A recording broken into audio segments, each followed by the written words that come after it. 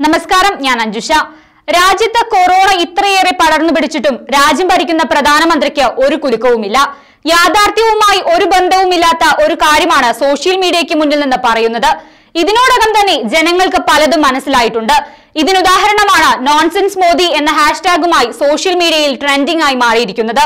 പ്രധാനമന്ത്രിയുടെ നുണപ്രചരണം ഇനി ജനങ്ങൾക്കിടയിൽ നടക്കില്ല എന്ന് മോദിക്ക് ഏകദേശം മനസ്സിലായി തുടങ്ങി.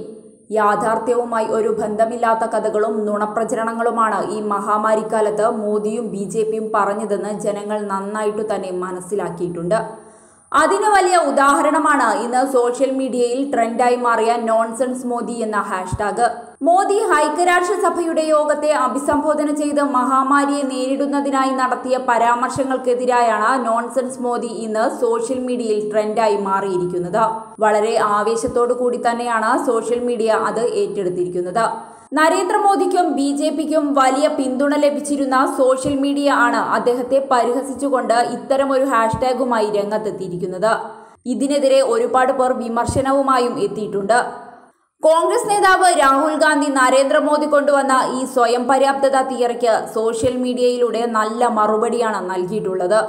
ഇതോടെ ഈ പ്രചരണം ജനങ്ങൾ ഏറ്റുപിടിച്ചിരിക്കുകയാണ്. ട്വിറ്ററിൽ നരേന്ദ്രമോദിക്കത്ര ഉള്ള ആരാധകർ മറ്റ് നേതാക്കന്മാർക്കൊന്നുമില്ല എന്നത് സത്യമാണ്. അതുകൊണ്ട് തന്നെ വലിയ തിരിച്ചടിയാണ് ഈ ഹാഷ്ടാഗിലൂടെ മോദിക്ക് ലഭിച്ചിരിക്കുന്നത്. ഇതുപോരാതെ ബി ജെ പിയെയും നരേന്ദ്രമോദിയെയും പരിഹസിച്ചും വിമർശിച്ചും കുറ്റപ്പെടുത്തിയും മറ്റ് ചില പ്രചരണങ്ങളും സോഷ്യൽ മീഡിയയിൽ അരങ്ങേറുന്നുണ്ട്. മുമ്പെങ്ങുമില്ലാത്ത വിധമാണ് ബി ജെ പിക്കെതിരായിട്ടുള്ള ട്വിറ്റർ ക്യാമ്പയിൻ ഇത്ര സജീവമായി ആളുകൾ ഏറ്റെടുക്കുന്നു എന്നുള്ളത് ശ്രദ്ധേയമാണ്.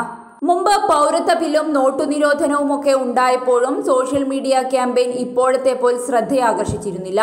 ഇപ്പോൾ സോഷ്യൽ മീഡിയയിലെ ഇത്തരം പ്രചരണങ്ങളിലൂടെ നമുക്ക് മനസ്സിലാക്കാം യുവജനങ്ങൾക്കിടയിലും അല്ലാത്തവർക്കിടയിലും മോദിക്കും ബി ജെ പിക്കും ഉള്ള സ്ഥാനമെന്തെന്ന്.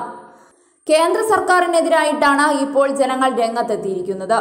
നോൺസെൻസ് മോദി എന്നുള്ള പ്രചരണത്തിന് പകരം നോൺസെൻസ് രാഹുൽ ഗാന്ധി എന്ന പ്രചരണം ബി ജെ പി തുടങ്ങിവെച്ചുവെങ്കിലും അത് നുണയായിരുന്നുവെന്ന് ചില യാഥാർത്ഥ്യങ്ങളിലൂടെ ജനങ്ങൾക്ക് മനസ്സിലായി. മോദിക്ക് ജനങ്ങൾക്കിടയിൽ ഉണ്ടായിരുന്ന അംഗീകാരം മെല്ലെ മെല്ലെ നഷ്ടമാകുന്നു എന്നതിനുള്ള സൂചനയാണ് നാം ഇപ്പോൾ കണ്ടുവരുന്നത്. ജനവിരുദ്ധമായ നടപടികളും നുണപ്രചരണങ്ങളും കൊണ്ട് മാത്രം ഏറെ നാൾ പിടിച്ചു നിൽക്കാനാവില്ല എന്ന യഥാർത്ഥ ബോധ്യത്തിലേക്ക് ബി ജെ പിയെയും നരേന്ദ്രമോദിയെയും കൊണ്ടുചെന്നെത്തിച്ചിരിക്കുകയാണിപ്പോൾ.